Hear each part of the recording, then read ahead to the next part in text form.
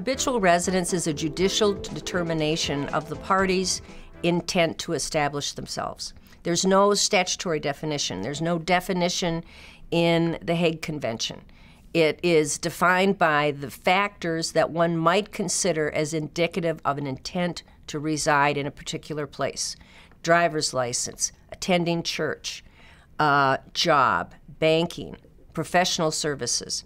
All of those things are indicators of intent. But we have a very mobile society, and it's not uncommon for people to have homes, wealthy people, in two or three different countries and travel between them.